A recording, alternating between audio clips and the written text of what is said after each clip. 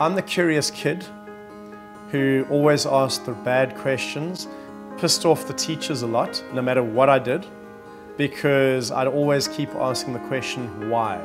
I was at university for six years, ended up qualifying as a physiotherapist, thinking I'd get answers, and I realized that nobody had a clue what they were just teaching stuff.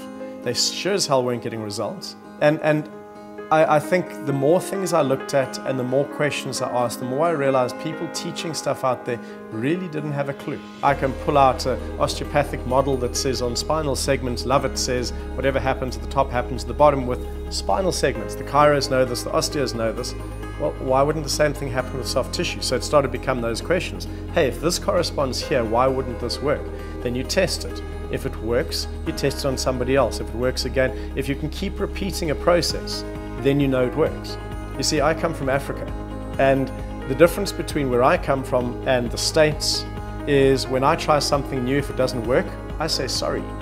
You guys, when it, you try something new, it doesn't work, somebody sues you, which is a perfect environment not to create entrepreneurial spirit and new techniques because there's the fear of what if I do it wrong.